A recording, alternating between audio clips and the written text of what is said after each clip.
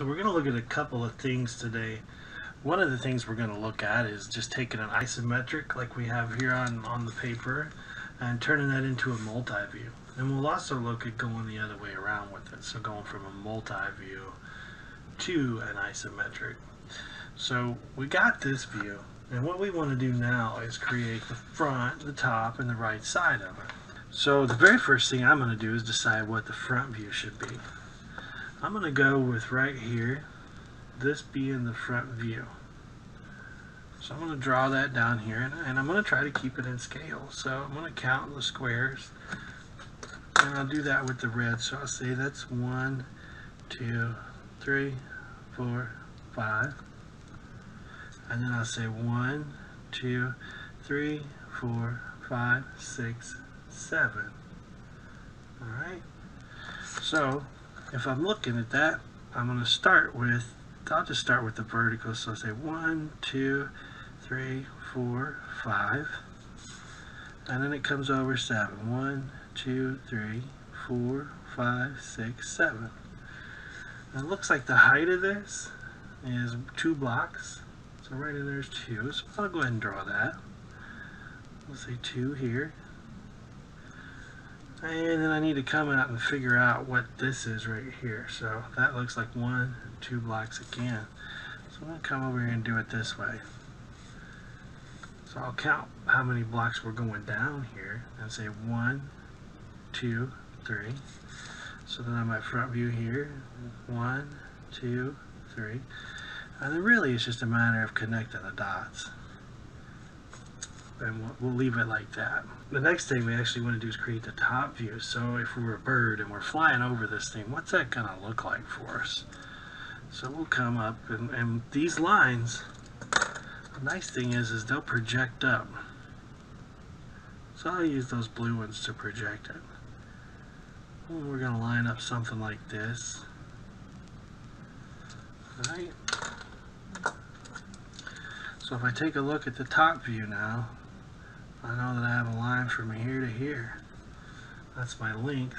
Then I know it looks like we have one, two blocks, three, four, five.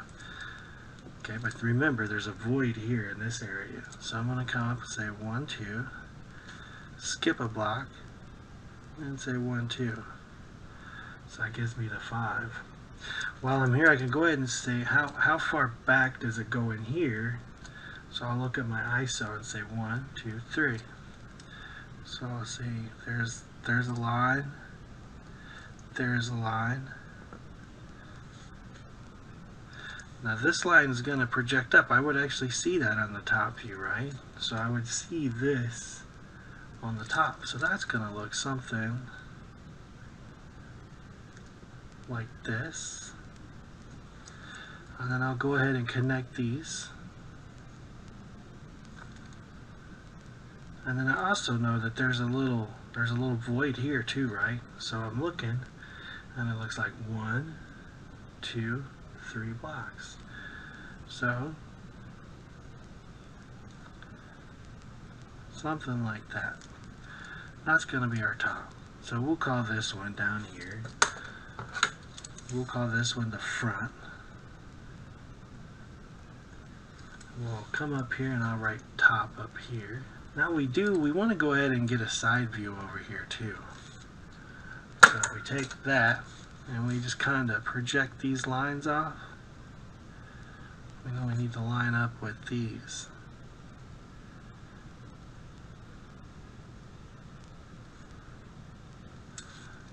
And then we'll go ahead and draw that object as well. So this, this right side view, we know it's this tall we also know that we're across here. There's five right? So one two three four five. Remember there's a void there but it'll look a little different from the front or from the right side here. One two three four five. And remember there's a gap right here of just one block. So there's one two there's a line. Then there's the gap of one and then there's another two. Looking across here, we got to draw this line in, don't we? Something like that. We'll go ahead and extend this up. And just by looking at different views, I know that it's going to do something like this. Now what we could also have done is we could have went ahead and drawn in our hidden lines as well. So we'll call this the right side though. So we know that this right here, this little hole or this little cutout, we can't see on the front view. But if we projected a line, we draw this really lightly, it's to line up in there, right? So I'll just come in here and say, alright, you are a hidden line. We can also do the same thing over here, right? That's going to be a hidden line. So we'll just project. I'm just kind of trying to draw that line, but it's a little difficult to do with a pen. So then we'll draw these hidden lines. Had I had these hidden lines in as I drew, I could have actually just extended those and projected them out, right? And then it would have lined up perfect. So that's how we take an ISO and we go to a multi-view.